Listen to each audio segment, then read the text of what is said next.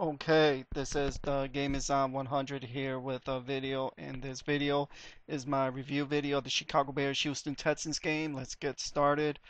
The Chicago Bears unfortunately lost this game to the Houston Texans 13 to 6. Um, this was a very, very good game. Um, the Bears couldn't get nothing much on offense. Um, whenever we got something going in the first quarter on offense, we had uh, four turnovers in the first half. We had two picks by Cutler, and we had uh, two two fumbles that we lost as well. That can happen, um, especially the Bears did get two turnovers. But when you normally lose lose the turnover uh, battle, you normally would lose the game. Um, it came down to the end, but the Bears didn't muster enough to uh, come up with the W. Um, I would say that the key was the the two forced fumbles that the Bears had. Uh, Kellen Davis, he had to secure on the ball and he fumbled it. Then Michael Bush on the next possession, Michael Bush uh, fumbled the ball. And uh, right now we're seven and two, and we got to look forward to the San Francisco 49ers next week. Um, San Francisco and the St. Louis Rams tied today, so hopefully I'm very where I'm very optimistic about the Chicago Bears next week against the San Francisco 49ers. Uh, Jay Cutler went down with a concussion in this game. Um, I don't know what the severity of the of the injury. Well, they're going to probably evaluate him and see. Hopefully, he can go for Monday night's game in uh, in San Francisco. But if not, uh, Jason Campbell will fill in. He'll if he does get the start, Jason Campbell will have a full week of practice to prepare for the San Francisco 49ers. Um, Jason Campbell tonight did a okay job. He had his chances to get the get the ball downfield, but he didn't take the chances. Um, it was probably due with the fact that he didn't uh, get uh, that much practice. So I could see why they were uh, limited for what they did.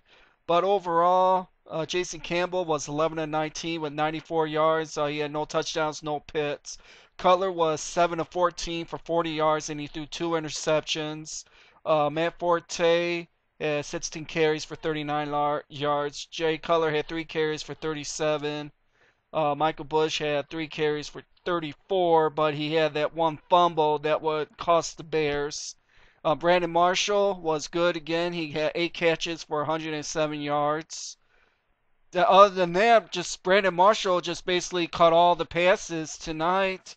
Our offense was virtually non-existent with uh, Hester only had two catches for four yards. Matt Forte two catches for a minus three yards. Earl Bennett had one catch for nine yards.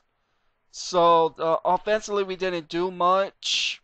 Uh, defensively wise for the Bears, we we held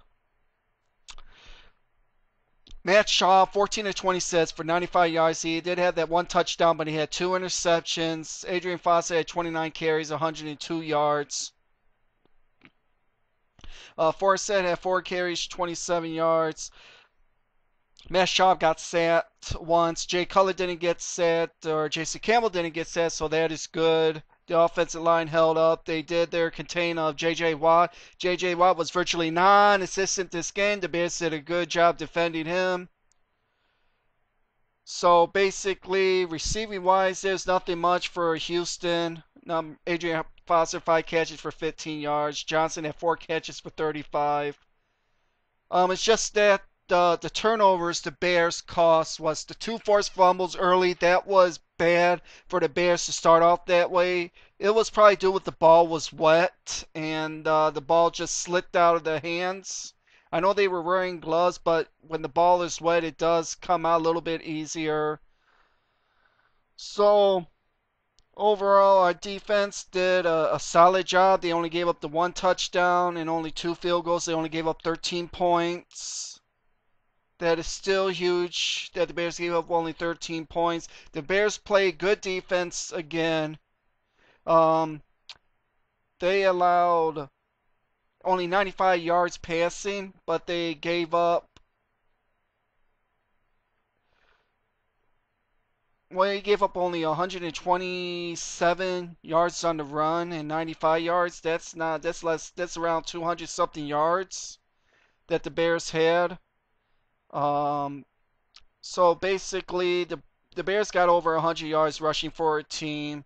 So that's basically it's pretty much about the Bears got a little bit more yardage from the from that. But overall, all I gotta say is uh, this was a this was a good game. Um, Houston Texans really came to play today. Um, they really wanted to win this game. Um, when you normally will lose a turnover battle, normally would lose the game. Um, the Bears didn't uh, come up with the win this week.